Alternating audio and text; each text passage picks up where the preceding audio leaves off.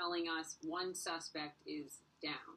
Police are also saying at this point there are two victims. This is an aerial from the scene there.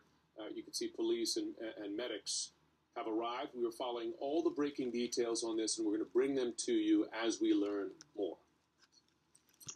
Of course, the other story.